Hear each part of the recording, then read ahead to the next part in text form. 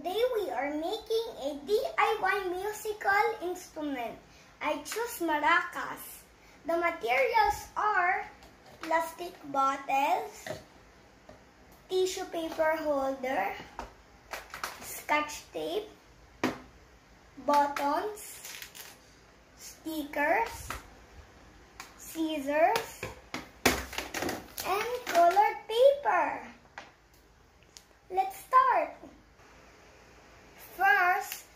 have to cut the plastic bottle.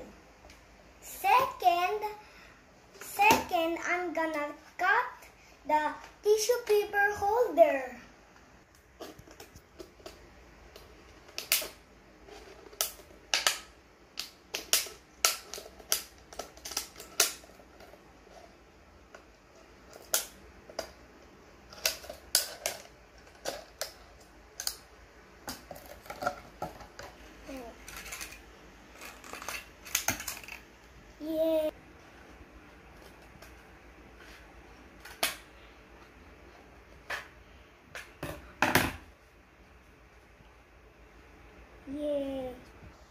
After cutting the plastic bottles, it turns into like this. We need to connect the plastic bottles together so we can make it like this. It's, it's time now to put the buttons inside the plastic bottle.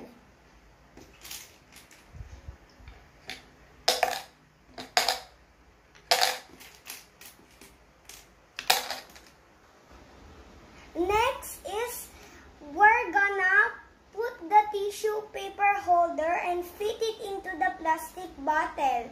This will be the holder.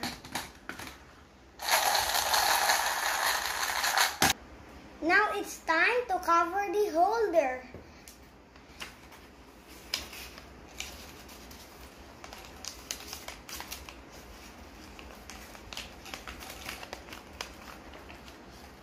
Now it's time to put this sticker.